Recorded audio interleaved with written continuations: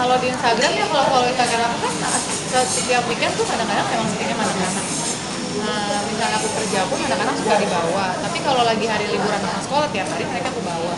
Eh, mereka bangun tidur aku yang bangunin. Aku pulang malam mereka udah tidur aku kadang-kadang suka bangunin mereka hanya untuk udah pulang ya gitu.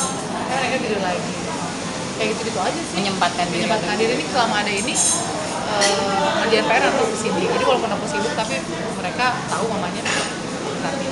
udah mulai protes kemarin makanya aku bilang bukan hanya mamanya tapi suaminya pun juga protes kan. Oh ini kamu ini banget sih tahu tahu begini kamu gak usah punya lu kita pakai ini cuman aku bilang ya namanya kayak anak baru lahir nih mas- masih diurusin. Kan kalau udah mulai bisa merangkak kan juga sesekali ke sini paling seminggu bisa tiga kali dua kali aku harus tiap hari kan liburan. Ini nonton bioskop liburan makan gitu gitu aja kan nggak ada yang aneh-aneh paling kalau misalnya liburan ke luar negeri itu juga kan nggak bisa sering-sering. Paling satu tahun cuman empat tiga empat kali.